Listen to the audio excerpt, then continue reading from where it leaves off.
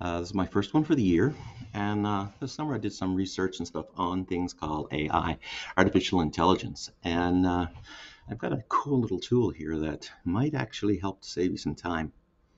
It's called Magic School AI. I also researched another one called Eduaide AI, um, but I seem to like this one a bit better. What it is is an artificial intelligence that creates things for you. So when you first log in, you can use a tool filter, or you can come down here and choose the things that you want. So for example, I've chose video question generator, uh, conceptual generator, space lab generator, uh, teacher joke generator, for those who know me, it's a horrible tool for me to own. Lesson plan generator, text rewriter, so there's a whole bunch short story problem, uh, math story problems, a whole bunch of tools that I wanted right now for myself. And for the rest, I will leave those up for you to be able to take a look at. The one I wanted to show you today that blew my mind was lesson plan generator. So with the lesson plan generator, you're able to choose which grade. I teach a fifth grade, and you can talk about what you're talking about. Maybe you're talking about weather with, um, let's say, water cycle. Now, you choose which country or Alberta standards, um, Saskatchewan standards, all depending on where you are. And then you click generate.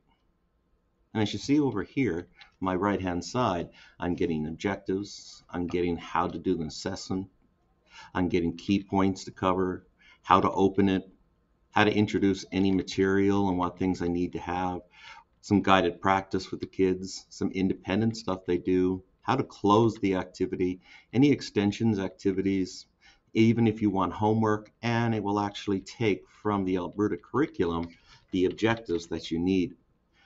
And then you can also choose a shortened version if you want to. Uh, I haven't tried the, uh, the translate or summarize um, or the Ask Raina, but I can summarize it into less points if I wanted to, summarize it into 10 points in order to get a shorter version, in order to stick up in a classroom. So all of these things are available to you with this AI. I'm going to be starting to implement this myself. My suggestion though is if you use this, uh, definitely read through to make sure everything is okay.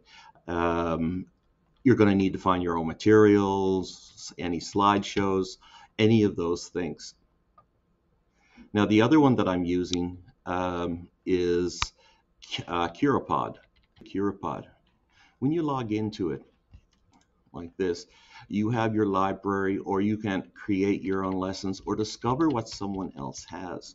These are some that I've created myself, okay, by clicking in through here and you can choose to curify your own slides if you have any already in Google or you have any PowerPoints. They have activities such as brain breaks, discussion questions, personalized feedback, and what it does is it makes your slide shows two ways. So the kids are not just looking at slides from the back of the classroom, they're actually interacting with the slides. I'm going to show you one that I have here so that you can see it. So I'm just going to go into science one and I'm going to go into uh, climate and let's take a look at um, right here, tools used to measure weather. So starting at the beginning, I'm just going to do a present for you. And this is what the kids will see. Once I click, you're able to share this with the class in three different ways. One with the website, one with a pin, and then one with a QR code for screening.